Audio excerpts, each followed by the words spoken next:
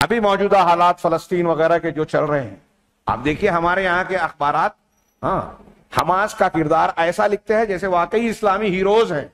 लेकिन जब हकायक आप देखेंगे, जानेंगे तो पता चलेगा कि नितिन याहू यानी इसराइल के सदर और इनकी मिली भगत है। नौरा कुश्ती है, दिखावा है, लोगों को धोखा देना है।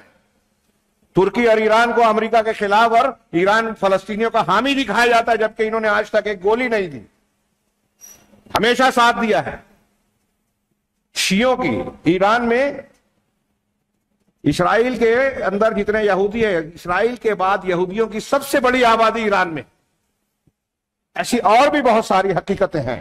मुसलमानों का कई मकाम पर आज की तारीख में ये लोग कत्लेआम जहाँ कर रहे हैं, वो खबर में भी नहीं आता।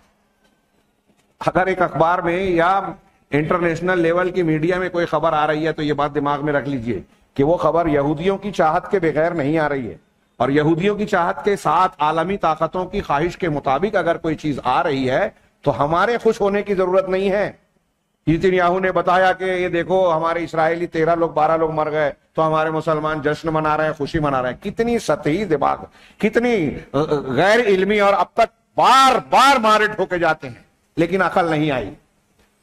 वो जो लाशें दिखाई जा रही है, वो सही है या गलत, या किस मकसद से दिखाई जा रही है? अपनी बेचारगी ज़ाहिर करने के लिए नहीं। बेचार की ज़ाहिर करने के लिए नहीं दुनिया के सामने ये जवाब पेश करने के लिए कि अब हम मुसलमानों पर फलस्तीनियों पर हमला कर सकते हैं। उनकी बस्तियों को वीरानों में तब्दील कर सकते हैं इमारतों को खंडर बना सकते हैं।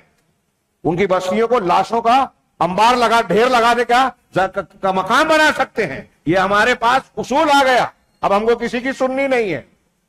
जब वो लाश बता रहे हैं तो आपको खुश नहीं होना चाहिए इस बात की फ़िक्र करनी चाहिए कि वो हमला करने की तैयारी है।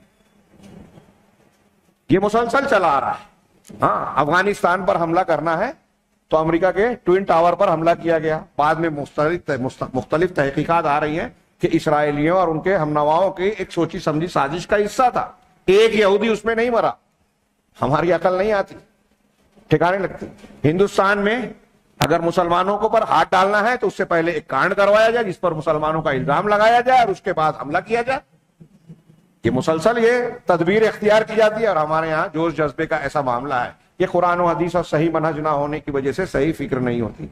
आप दुनिया में किसी बात को वाकई का सही तजिया अगर करना चाहते हैं, मैंने इससे पहले भी कहा, मुसलमान सहाफियों को खास तौर से।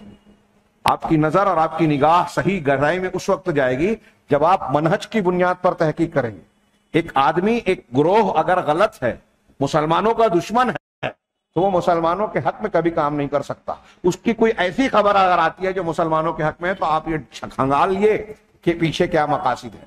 क्यों ये मुसलमानों की बजाहिर तायद कर रहा है? उसके पीछे ज़रूर कोई ना कोई साजिश ज़रूर है। और इस सिमत में सर फहरिस्त तो मुसलमानों की तारीख में सबसे नुमाया तौर पर मुनाफत का किरदार निभाने वाला तबका रवाफिज का है, ईरान का है, जिसने कभी मुसलमानों का साथ पूरी तारीख में नहीं दिया। मुसलमानों के फ़ायदे का काम नहीं किया तो आज कैसे करेंगे? लेकिन हमारे यहाँ तहरीकी मनहज और बसीरत के इतने अंधे हैं, इतने अंधे हैं कि इन्हें अच्छे बुरे अपने पराये का भी एहसास नहीं होता शूर नहीं होता। और जब आप जाएँगे तो दुनिया के फलसफे बघानेंगे। ये मनहजियत के फुकदान का नतीजा है। छोटी मोटी बात नहीं है।